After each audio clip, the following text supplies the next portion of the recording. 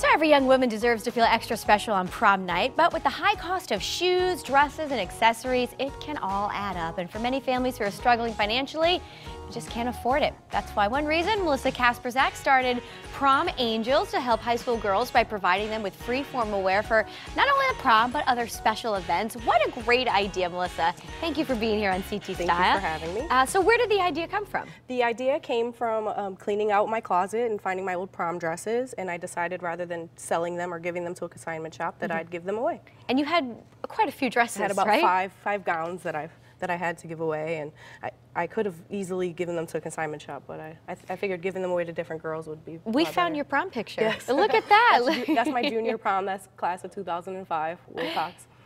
Pretty good. So um, typically, people spend a lot of money on the prom. It's up to, it's well over a $1,000 at this mm-hmm. point, but you're not just looking for prom dresses. We're also looking for shoes and accessories mm -hmm. like the ones we have here, um, gowns, uh, purses, shawls, necklaces, earrings, bracelets, any type of accessory that is good for prom.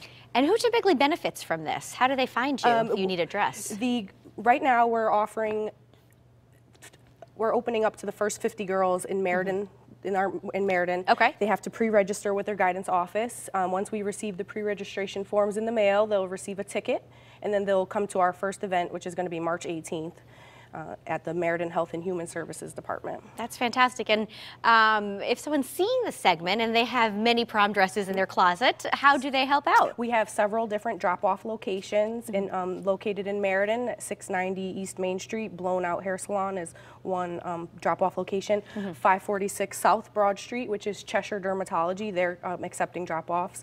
3E CrossFit, which is in Cheshire. 1701 um, Highland Avenue. They're accepting drop-offs and then also Cheshire Dermatology in the Cheshire office, which is 677 South Main Street.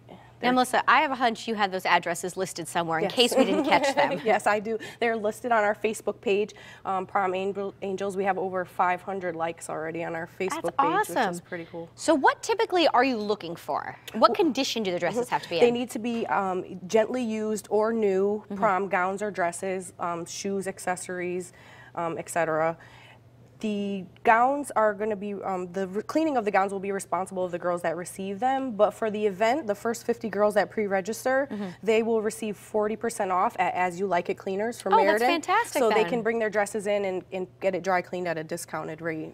Now, how, do you have all different shapes and sizes, colors? Yes, we have dresses from size zero all the way up to 24 plus. So wow. there's dresses for everyone. Right now we have about 75 gowns that have been donated so far. So how does it work? Uh, the girls kind of uh, apply apply to do this? Yes. Do they get a chance to pick or how? Well, they'll pre-register for the event and then once they receive a ticket, they'll come to the event and they'll all the dresses will be displayed and they'll be able to pick out. They'll actually have their own personal shoppers. How fun is this? You make the whole experience great. Absolutely. The Meriden Youth Services Department is offering youth um, students to come and help us volunteer for the great. day as well. Uh, and how long do we have to drop off these dresses? March 1st is our deadline um, okay, for so our March month. 18th event. Great. Mm -hmm. That's awesome. And uh, there's pocketbooks. You can make a whole outfit together, Absolutely. right? Real easy stuff. And uh, I bet if a lot of women went into their closets, they'd find gowns I'm sure that they that could they donate. will. And, and not just prom gowns. We're accepting bridesmaids dresses and any other formal gown that you may have.